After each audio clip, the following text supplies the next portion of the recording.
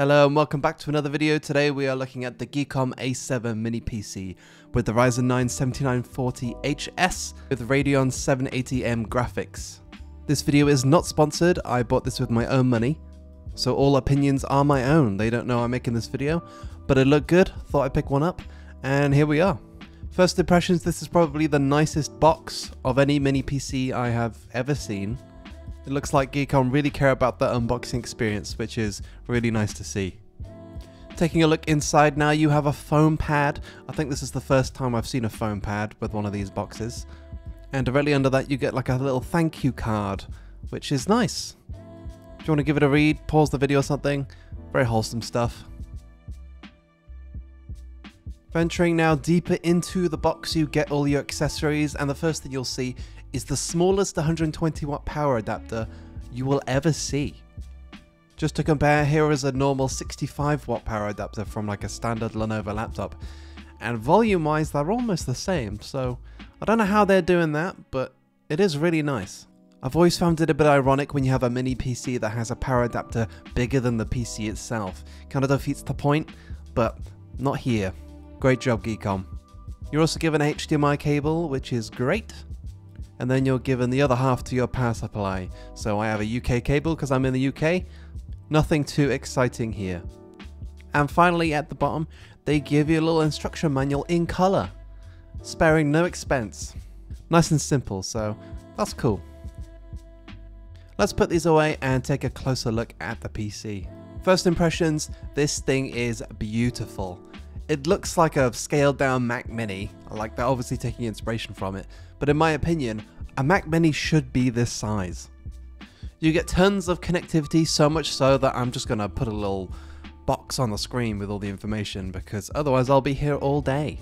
But essentially you get everything you need and more and you even get a 40 gigabit USB-C port, as well as an SD card reader on the side, which is a nice surprise. On the bottom cover you have four rubber feet which are hiding the screws that you need to undo.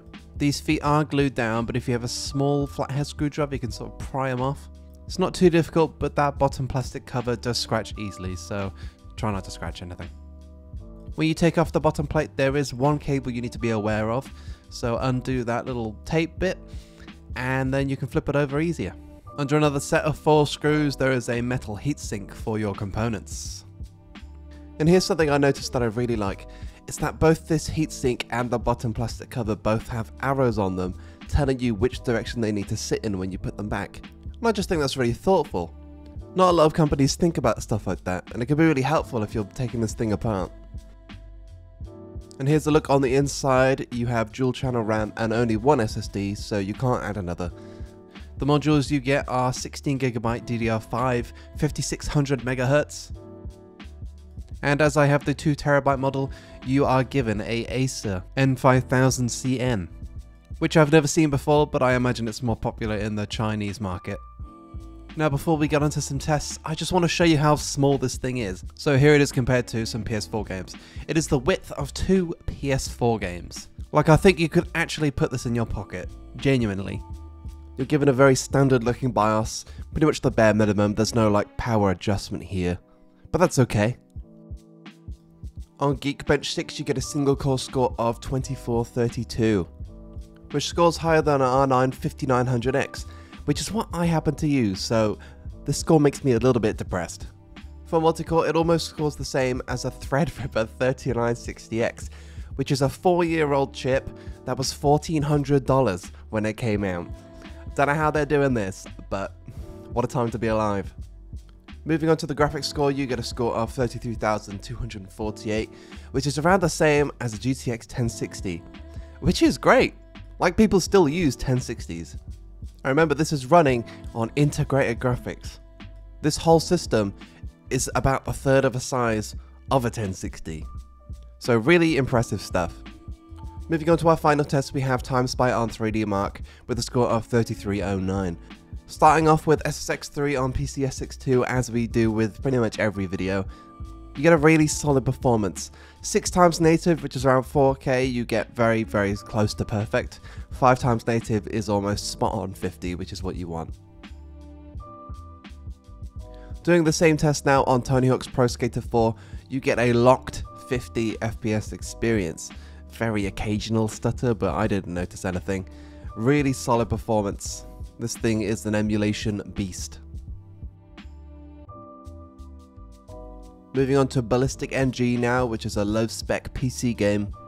Get an average of 181 FPS at 1080p, buttery smooth, no complaints from me at all.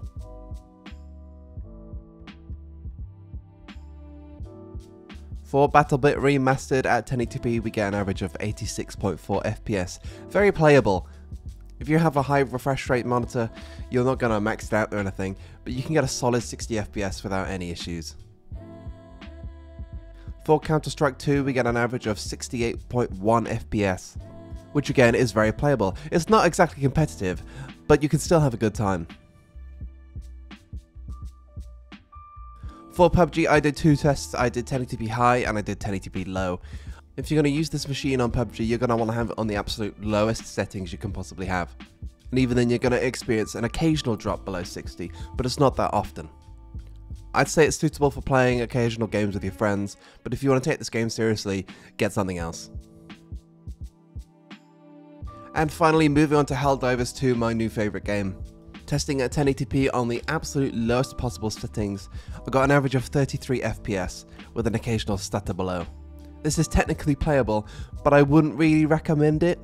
When your missions get very hectic, you'll really notice the lack of power, so if you really want to play this game, I'd recommend a higher spec machine or just get a PS5. Let's move on to an audio test.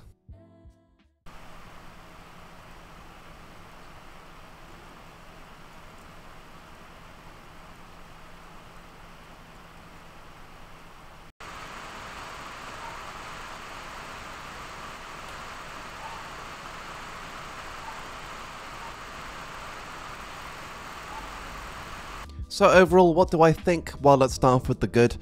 Aesthetically, this thing is beautiful, even though they kind of did copy the Mac Mini, but that's okay. The Mac Mini is also very beautiful. There's a reason why Apple haven't changed the design in about 12 years.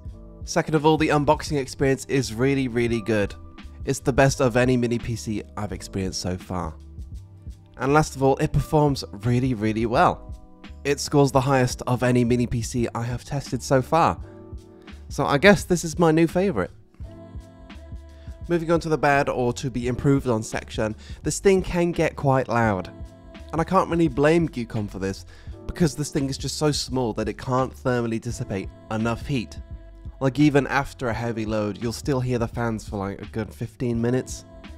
This AMD Ryzen 9 is an absolutely stellar chip, but it does use a lot more power than something like the Mac Mini, which doesn't make any noise at all. And my last gripe, it's not really a gripe, but you can't mount this anywhere. It doesn't come with any mounting solutions like all the Minisforums do. So if you want to put it behind a screen, you, you can't do that.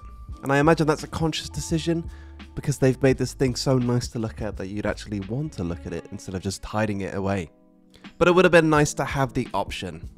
But overall, this is a really solid machine, and if you want to pick one up, I have links down below. Again, this video is not sponsored, all the opinions are my own, but if you do decide to buy it through Amazon, I'll get a little bit of kickback at no extra for you.